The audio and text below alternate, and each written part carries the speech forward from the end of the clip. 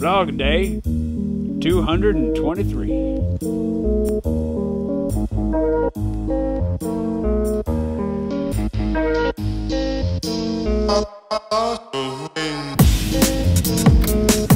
Snow on sunny days is always a very pretty thing. These berms, however, are like growing. They're like walls.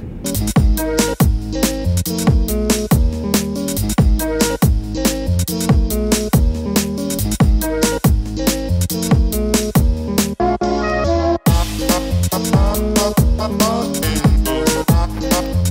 of the things that I've been avoiding talking about has been the sheer fact that I really, really hope that I can get this visa. I know I've talked about getting the visa, and I know that I have. I'm, I'm obviously really excited about it, but I there's a sense of vulnerability if I talk about the actual hope behind it because I'm, it's not guaranteed that I'm going to get it. Like this is the week that I'm going to find out. Monday through Friday, whatever. I don't know. Like they, they might overnight it to me at any time. My passport might show up with a letter saying, eh, and it might show up with a visa inside of it. And I won't know until it happens. And so the fear that I have in sharing is not part of it's like letting you guys know, hey, I have hopes and dreams again. That just might not come through. And part of it is also just the fact that they might not come through. Like for me, like putting them out there and actually talking about them makes them that much more real. And if they're that much more real and they don't happen, like how much more disappointing is that? But at the same time, that sense of hope and that, that desire for them makes them so much more tantalizing and also more healthy. If I can, or healthier, more healthy or healthier? Nah, we can't spell check what we say as we say it, unfortunately. But the thing is that, like, if it makes it that much healthier for me to share why I'm excited for the possibility of going to France, maybe it's worth talking about a little bit. Maybe I should talk about it a little bit. And I've been thinking about that all day. Like, it's one of those weird things where I'm like, uh, do I talk about this or don't I? I would really like to share with you guys, but then it makes me so much more. I need to do it.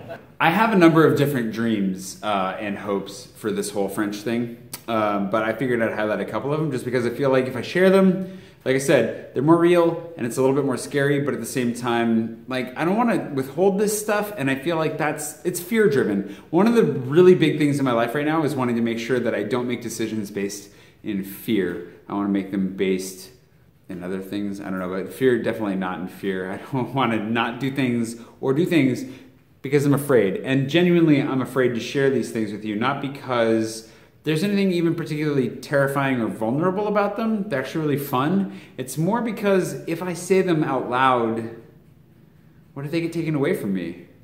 And if you guys know about it, what will you think of me if you know that, oh, he wanted these things, but they didn't happen for him? And that's that's really what makes them scary. So, number one, I'm just excited to resume the life that I already have in Paris. I have a few different groups of friends in Paris that I really, really care about. I have an apartment in Paris. I have a life there. I have things I like to do, places I like to go, coffee shops I like to sit in, places I like to have picnics. There's just there's a world there that I've left behind and I really want to reclaim. And and it's so much more there's so much more going on there for me than there is here in Spokane. And that's not a knock on Spokane, it's just that I just don't fit here in the way that I wish I did. Number two, it's not just France. I have friends in a lot of countries in Europe that I really wish I could see more easily. And France, Paris in particular, is really, really, really central to all of Europe. So it'd be really easy to travel to see my friends and to be close to them again in a way that I can't be here. I've only ever had one friend, one of my international friends, only one of them has ever visited me in Spokane, Anya, who we've mentioned before because she and I broke like my personal land speed record in the Camaro for my sister's wedding. It's a whole other story. The point is, none of my friends are going to visit me here while I'm here in Spokane. I have to be in a more central location. They will visit me in Paris, and I can more easily visit them from Paris. Three, how will I do this visiting, you ask?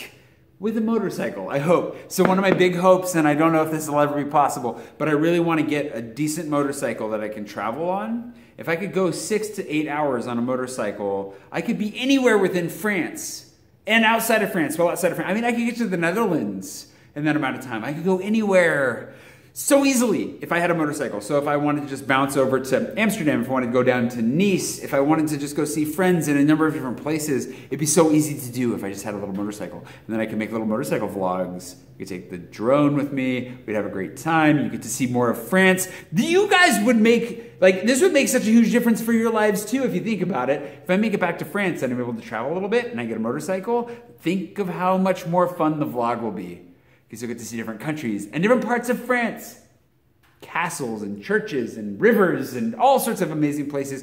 And we'll get to try different cheeses, which is probably actually like my number four. If nothing else, I just miss really good cheese a lot. All that to say, I really want to go back to France. I think that the vlog and our experience together will be better if I do make it back to France. And I may be really scared that this week I'm going to find out that I'm not going to get to go back to France.